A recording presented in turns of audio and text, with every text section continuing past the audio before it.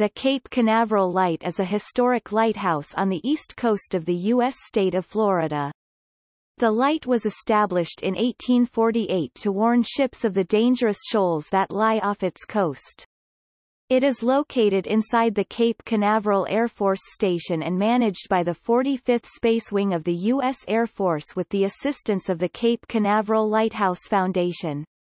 It is the only fully operational lighthouse that is owned by the United States Air Force. The current 151-foot 46 meters lighthouse tower was first erected and lit in 1868 then relocated further inland between 1893 to 1894. It was originally equipped with a first-order Fresnel lens that was automated in 1967 and then retired from the tower in 1993.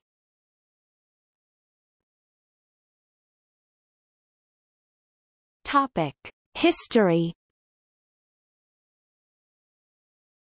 The Cape Canaveral Lighthouse was erected to warn mariners of the outlying shoals off its coast.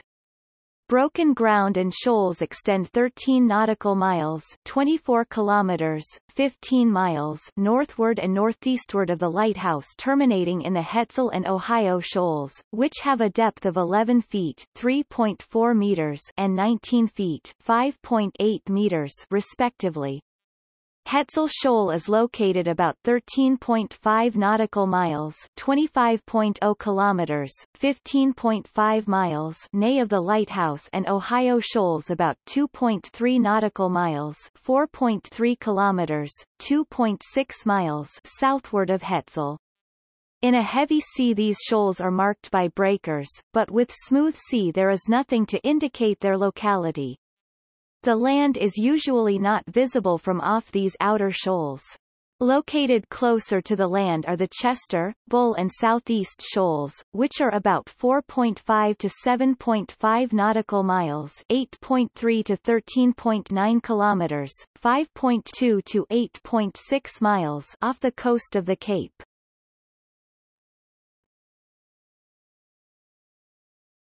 Topic. First lighthouse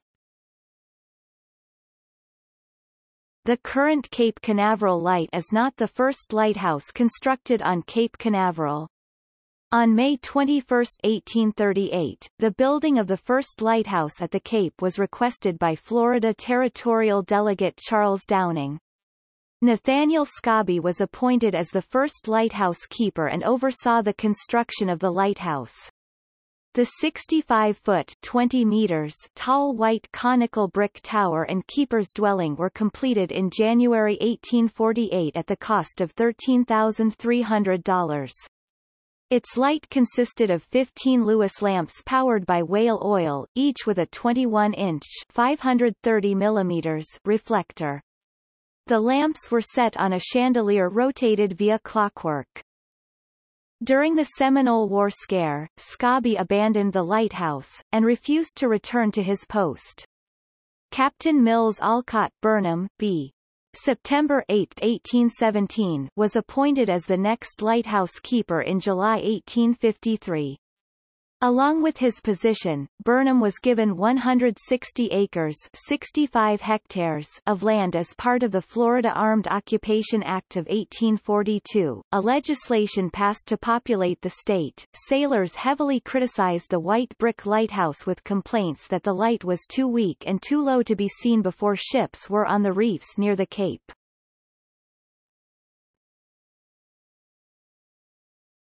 Topic. Second lighthouse In 1860, the government approved the construction of a new lighthouse. However, the start of the American Civil War stopped the work on the new tower. The lamps and mechanism of the lighthouse were removed from the tower by Burnham and buried in his orange grove to protect them from federal raids. At the end of the war, construction resumed on the lighthouse. The chosen replacement tower was made with cast iron plate design so that it can be disassembled and moved to a new location at a minimal cost, in case the encroaching sea started threatening the lighthouse. The conical tower was lined inside by bricks for stability and insulation. It was situated about 80 to 90 feet 24 to 27 meters from the location of the first tower. The new all-white lighthouse tower was completed in 1868, receiving a first-order Fresnel lens made by Henry Lepaute and Company of Paris, France that was first lit on May 10, 1868. The lower three levels of the tower served as the living quarters for the keepers and his assistants complete with kitchen, living room and bedrooms.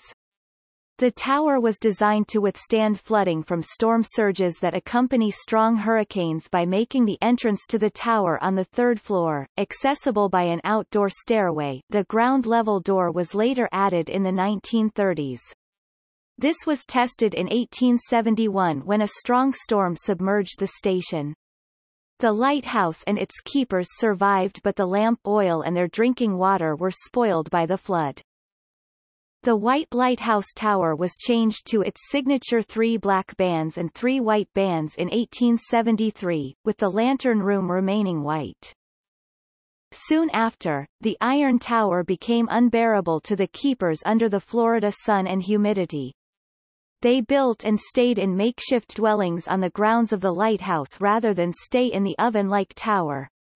In 1876, funds in the amount of $12,000 were appropriated to construct permanent dwellings for the keepers.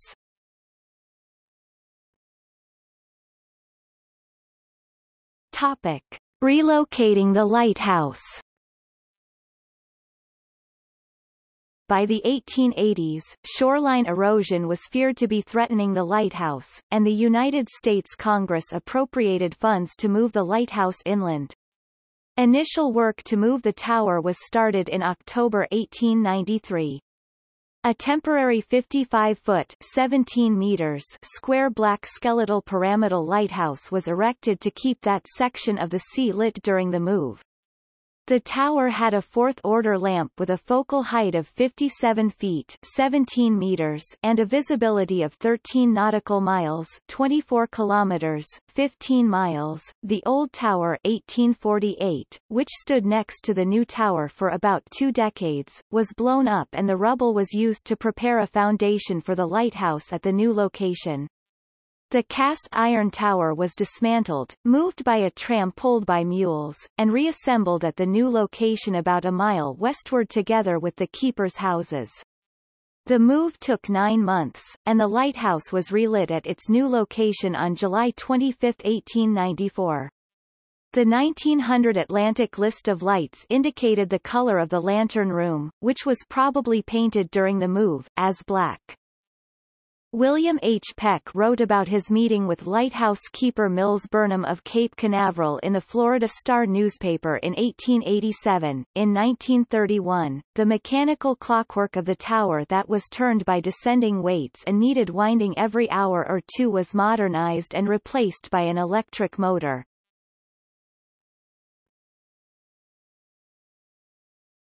Topic.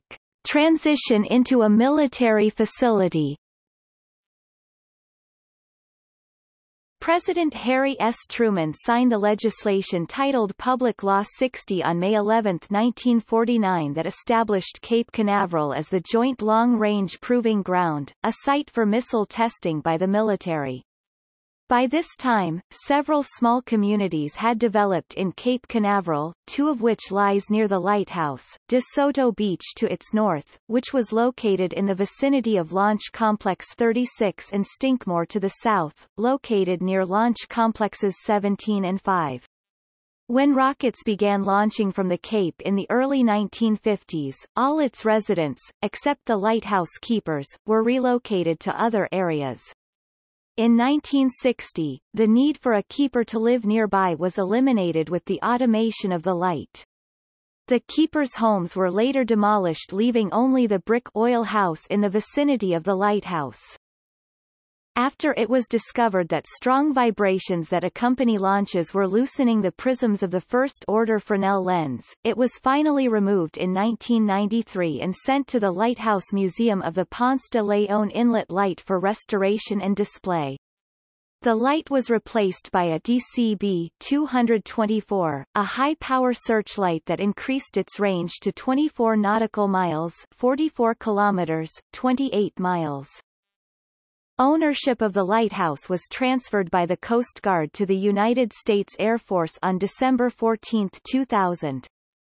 In 2002, the Cape Canaveral Lighthouse Foundation was formed and a Memorandum of Agreement was signed with the USAF.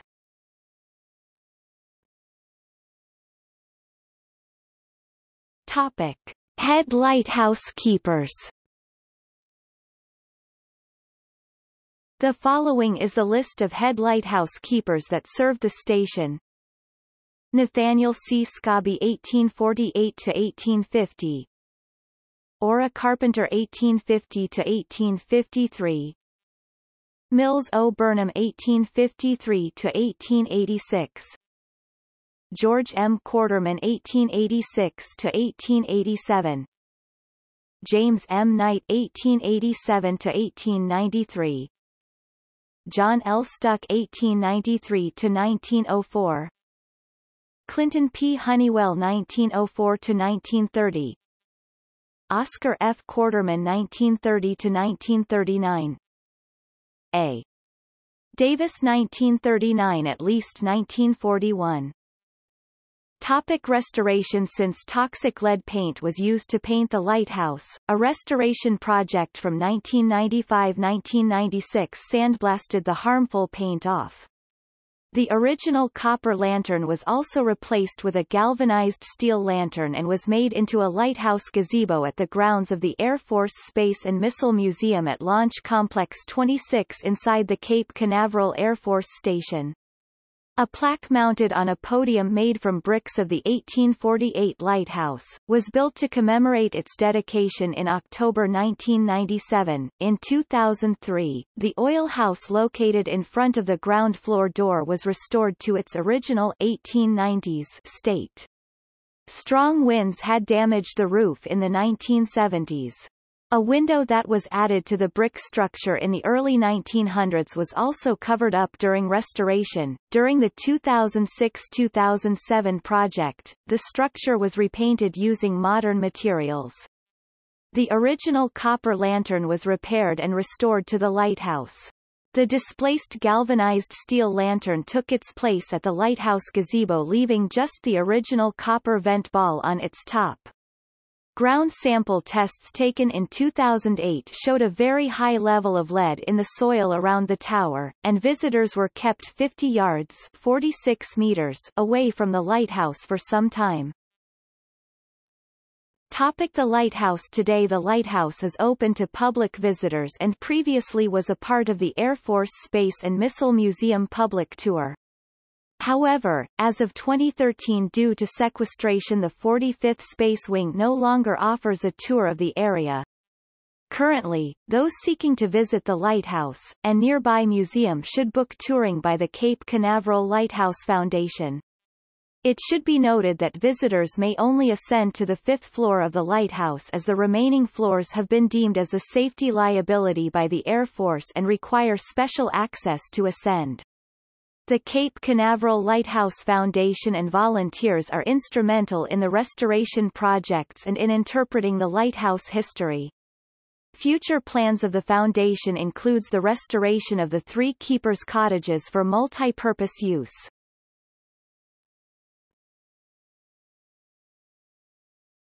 Topic. See also List of lighthouses in Florida List of lighthouses in the United States